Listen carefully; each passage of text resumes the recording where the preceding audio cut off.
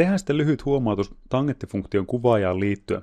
Ja tarkastellaan tilannetta Wolfram Alpha työkalulla, eli wolframalpha.com, ja tämä on erittäin hyödyllinen työkalu. Tämä osaa muun muassa integroida ja derivoida funktioita ja niin edelleen, ja kertoa monta muutakin asiaa, ei pelkästään matematiikkaan liittyen, vaan tämä osaa tulkita ihan luonnollista kieltä jossain määrin fiksusti. Computational Knowledge Engine. Mutta nyt tarkastellaan tilannetta sille, että pyydetään Wolfram Alphaa piirtämään tangenttifunktion kuvaaja. Ja se onnistuu yksinkertaisesti kirjoittamalla sitä tangentti x tai voidaan kirjoittaa myös, että y on tangentti x Ja nyt kun painetaan enteriä, niin havaitaan sellainen ilmiö, joka esiintyy myös joissakin laskimissa.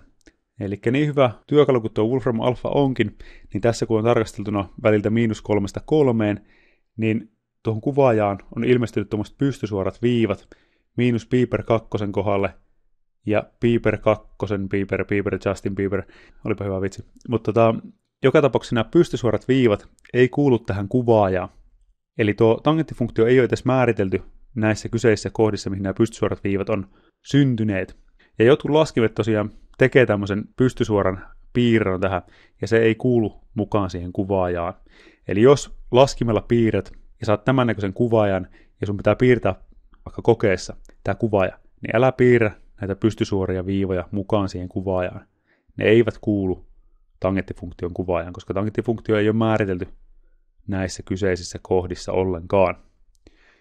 No sitten tämä Wolfram Alpha osaa antaa tästä paljon lisää tietoja ja niin edelleen, mutta ei mennä siihen nyt tässä sen enempää. Eli pointtina oli, että nuo pystysuorat viivat, varoitus, huom, eivät ole osa tangenttifunktion kuvaajaa. Ja tämä sama ilmiö esiintyy esimerkiksi tässä Kasion graafisessa laskimessa, jos zoomataan vähän ulospäin. Näin, niin saahan pystysuoria viivoja tuohon kuvaajan näkyviin, jotka eivät siis kuulu siihen kuvaajaan. Tämä oli varoituksen sana pysyä kaidalla tiellä tangenttifunktion kuvaajaa piirrettäessä. Hepä, joo, lopetellaanpas.